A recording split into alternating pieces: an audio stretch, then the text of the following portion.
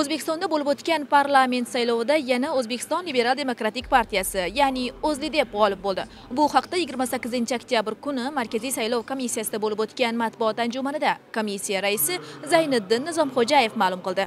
Ikkita saylov tizimi bo'yicha ya'ni deputatlikka nomzodlarga va partiyalarga berilgan ovozlar bo'yicha qonunchilik palatasiga saylangan jami bir yuz ellik nafar deputatlar tarkibining partiyaviylik mansubligi quyidagicha tadbirkorlar va ishbilarmonlar harakati. O'zbekiston liberal demokratik partiyasidan oltmish to'rtta o'rin yoki qirq ikki butun o'ndan yetti foiz.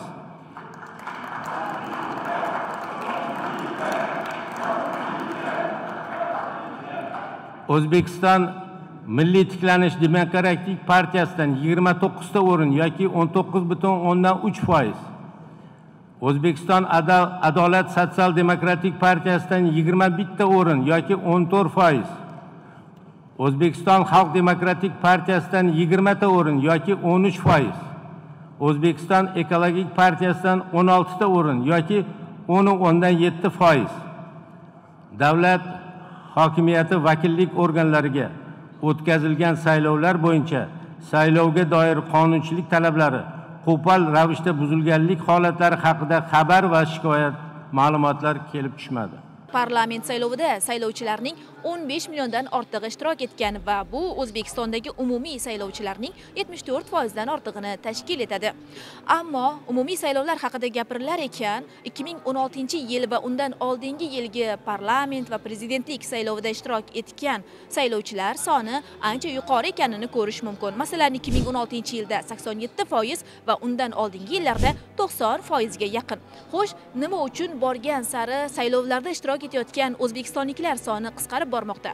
Bu borgan sari o'zbekistonliklarning saylovlarga nisbatan ishonchi kamayayotganini bildiradimi? Mazkur savolga markaziy saylov komissiyasi raisi o'rinbosaridan javob oldik. Agar e, raqamlarga e'tibor bersak 2016 va undan oldingi yilgi saylovlarda saylovchilar ancha e, ko'proq ishtirok etgan. 87 foiz 2016 yilda va undan oldin 90 foizlar ham bo'lgan.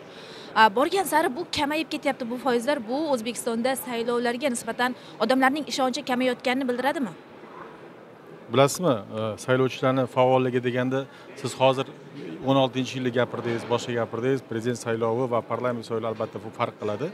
Ikkinchidan o'n to'qqizinchi yilda parlament saylovi bo'lgan lekin uni raqamlarimiz pastroq edi bu yilgi parlament saylovida bu yilgi parlament saylovida ko'ryapsizlar e, juda faol qatnashyapti fuqarolarimiz. Siyosiy partiyalarni faoliyati o'zgardi siyosiy muhit o'zgardi siyosiy texnologiyalar o'zgardi yangi texnologiyalar qo'llanishdi va borgan sari mana siyosiy partiyalar bu yilgi nimada nafaqat an'anaviy e, tashviqot e, nima e, yo'nalishlardan foydalanishdi balkim yangicha yangi texnologiyalar yana mana internetdan foydalanishdi ijtimoiy tarmoqlar podkastlar ketdi.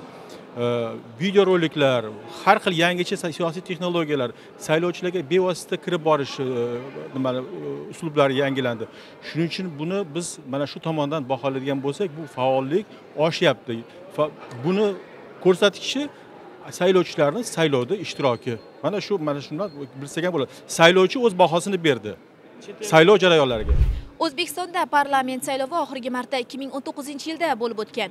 Unda umumiy saylovchilarning 50 foiz ovozini ham ololmagan partiyalar 2020 yilda qaytadan kurashga kirishgandi va unda yana o'zlidep g'olib bo'lgandi. Agar partiyalarning eng ko'p ovoz olish bo'yicha tartibiga ham e'tibor bersak 2024 yilgi natijalar 2019 va 2020 yilgi natijalar bilan deyarli bir xil ekanini ko'rish mumkin. Xo'sh nega? Nega o'zbekistondagi parlament saylovlarining natijalari deyarli bir xil? Man emas saylovchidan so'rashimiz kerak. Nima uchun bunaqa shunday ovoz berildi saylovchilar? Saylovchimiz fuqarolarimiz hal qildi buni. Biz emas biz faqatgina mana shu faktni tasdiqlab beruvchi organmiz. Rahmat sizga.